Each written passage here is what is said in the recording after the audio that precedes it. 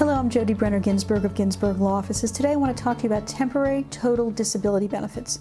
Those are the very specific income benefits that someone will get when they're injured on the job and either the doctor who's authorized has taken them out of work, can't work at all, and they get a weekly benefit check, or the doctor who's authorized has placed them on a light duty status and the employer does not have light duty work or sedentary work and they also there are entitled to a weekly benefit check. Those weekly benefit checks are specifically to, due to the gross average weekly wage of what the employee earned for the 13 weeks just prior to the injury date. So we always look at what's the injury date, we go 13 weeks prior, we add up those gross wages, not the net wages, the gross wages, divide by 13, we come up with the gross weekly average wage, and then the employee gets 66 and two thirds percent with certain caps. And depending upon the year that you get hurt will determine what cap your amount of weekly checks can be.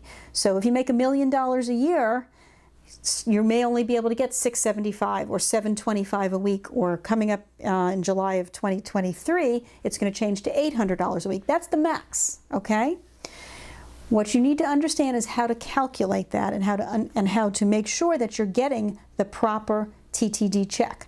If you haven't worked for the employer within 13 weeks, there are other ways that we can look at it, whether it's a quote contract rate or whether there's a similarly situated employee who may have worked the same job and we can look at their wages and we do that through the employer. The point is that you should always make sure that you are getting what is due you and understand how those wages are determined as opposed to just getting a check and saying, oh, I guess that's correct, okay? We look at it very carefully to make sure that our clients are getting the exact amount and if they're not, we're able to go back to the insurance company and point out why. It's also very important that you keep up with your pay stubs, whether you actually get a physical check every week or every two weeks or you get direct deposit, that you completely have access to that so that if we need to paste everything back together again to see what those wages look like, we have access to it through you. If you want to talk about your workers' compensation benefits, how to figure out whether you're getting paid properly each week, please give me a call.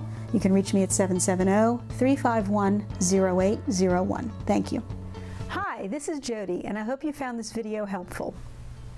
If you'd like to know more about all rights and benefits available to you under the Georgia Workers' Injury Laws, I'd like to invite you to download my Georgia Workers' Compensation Survival Kit that I created for folks just like you. Some of the topics I cover include, can I get fired for filing a work injury claim? Eight critical mistakes to avoid. Is it true that the insurance company will hire a private investigator to follow me around and videotape my activities?